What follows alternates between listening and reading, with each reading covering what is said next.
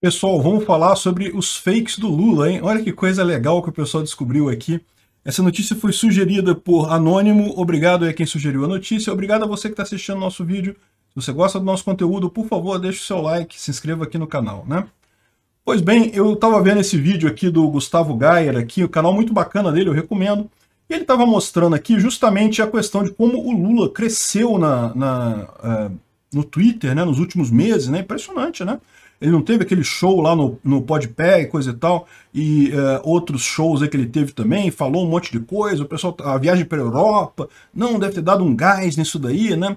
E aí ele apontou um negócio aqui curioso, que se você olhar, realmente em novembro ele tinha 2 milhões e 800 mil seguidores, e se você for ver agora em, é, em janeiro, ele tem quase 3 milhões, ó, 2 milhões e 987 mil seguidores. Caramba, conseguiu bastante coisa, né?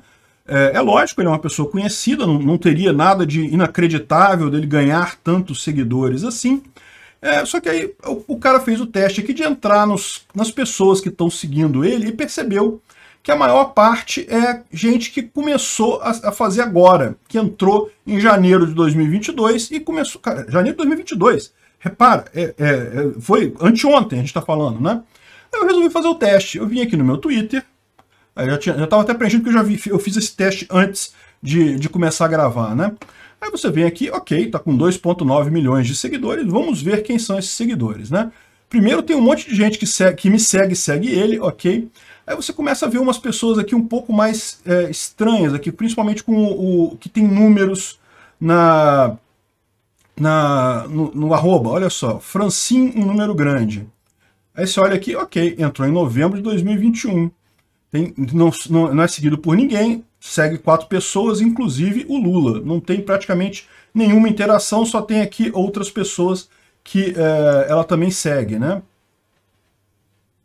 Olha só, outro número aqui. Olha só, essa aqui entrou em janeiro de 2022, zero seguidores. Caramba, segue duas pessoas. Quem que ela segue?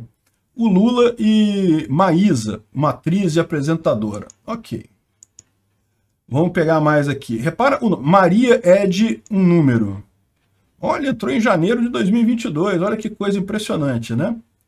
E pode procurar Fernandes 7612122.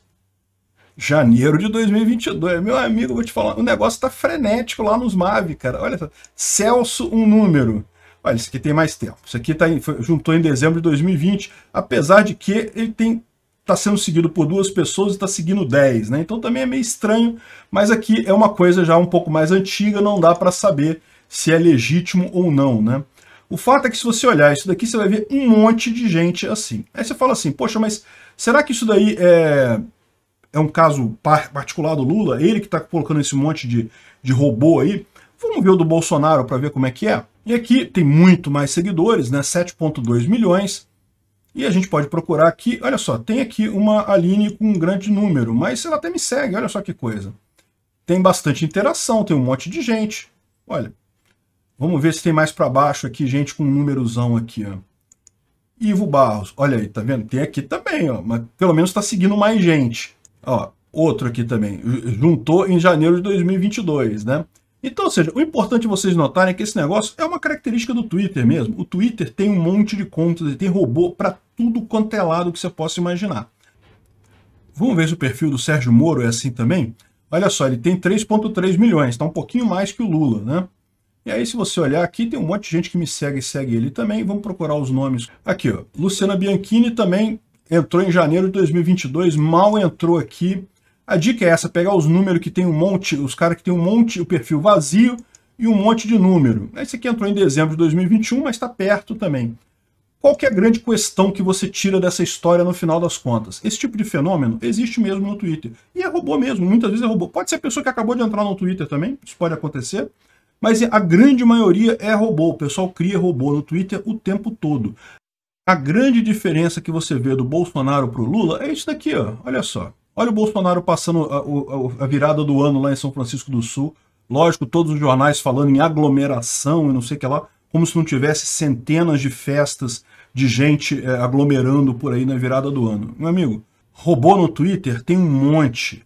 Pesquisa eleitoral dá para fazer número fácil, fácil. Difícil mesmo é juntar gente na rua assim, ó. Isso é que é difícil. Obrigado por assistir o vídeo até o final. Além de curtir, compartilhar e se inscrever no canal, considere se tornar patrocinador com valores a partir de R$ 1,99 clique no botão Seja Membro abaixo para saber as condições e vantagens de patrocinar o canal. Mais informações sobre o nosso projeto, visite nossos sites indicados na tela.